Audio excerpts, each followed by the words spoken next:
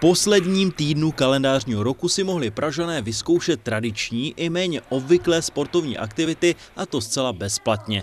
Akce s názvem Týden sportu zdarma, kterou organizuje magistrát hlavního města Prahy, navštívili během sedmi dní desetitisíce lidí.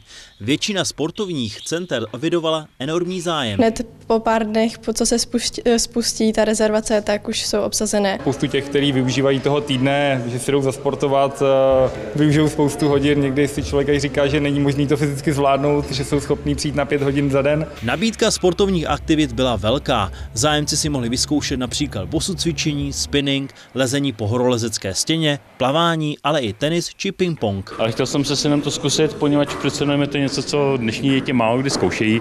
Ve škole tu šanci nemá. A myslím, že se mu to líbí a nám se líbí tohle zařízení, myslím, že se budeme chodit. Je pravda, že jako člověk se cítí hodně plný, hodně takový jako těžký a tak dále, takže určitě je to částečně i kvůli toho, ale jako každý pohyb vždycky je prostě super. No a jelikož je to sport, který máme rádi a navíc je zdarma, tak proč nejít, že jo?